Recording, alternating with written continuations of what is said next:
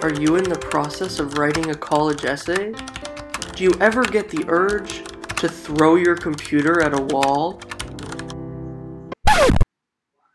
Pause.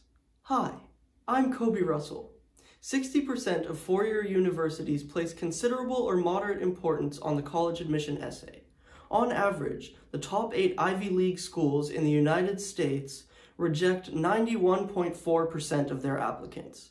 This could be you, but it doesn't have to be. What's happening? Scientific studies on the subject show that the college essay is in fact a rhetorical paradox, meaning that the language used in college essay prompts requests one thing from rising freshmen and expects another. College essay prompts are not straightforward when it comes to the type of essays the college wants to see.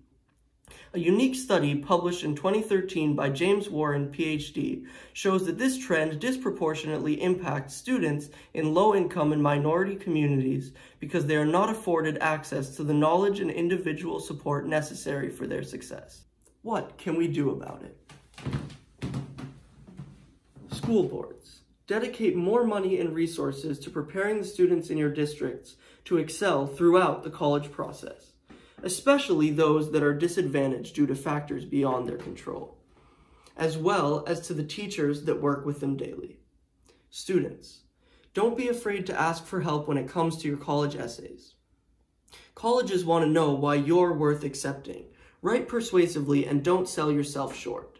Reach out to your principals, heads of school, and your local school boards to demand proper preparation for college applications.